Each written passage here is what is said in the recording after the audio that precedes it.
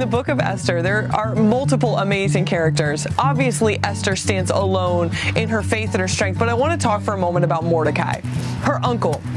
Now, this man was an amazing man of faith and a steadfast man.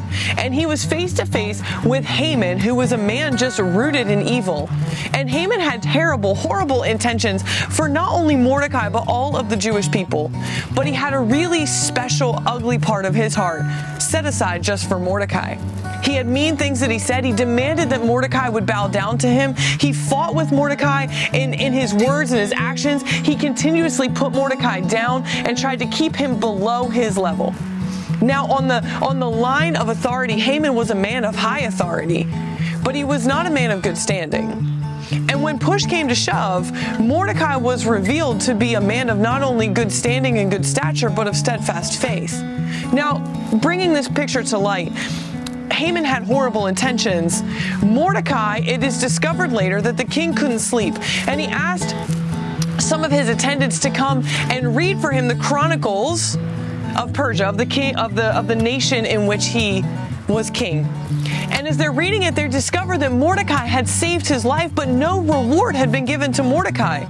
Now, truth be told, Mordecai didn't forget this. He knew what he had done. He knew that he had saved the king's life, and he knew that the king's right hand was out to kill him. But here's the thing Mordecai never snapped back at Haman. He never felt like he needed to try to put Haman in his place. He never felt like he needed to try and, and, and level with Haman. On, a, on an authority level, he couldn't. But what Mordecai could do was fight in the spiritual. He didn't take on a physical fight. He left Haman hang himself, literally and figuratively. But what Mordecai did was he fought in the spirit.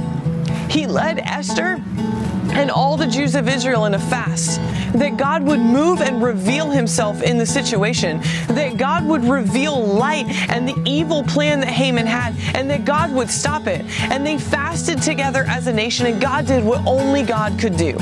All of the Jewish people were saved. And Mordecai was rewarded for his bravery and integrity. What does this have to do with you today? Not every battle we face is to be fought in the spirit or is to be fought in the physical, but we can fight everything in the spiritual. Psalms 46:10 says, "Be still and know that I am God." You see, a lot of times we take that scripture to mean I'm not supposed to do anything. That's not what that means. It means I don't have to fight the people or the circumstances around me. That's what God's going to do. I can be still in my flesh and active in my spirit. And when I'm active in my spirit, then I can allow God to do even more things than He could do before. So, whatever you face today, whatever is happening in your life, I encourage you to fight it harder in the spiritual than in the physical. Let God deal with the details. Let God deal with the things that you can see and the things you can't. Because His light will always shine in the darkness. And when we're still and know that He's God, He will be glorified. And He will show His mighty power when we put Him first in the spiritual. And when we put Him first in the spiritual, He'll be first in the physical.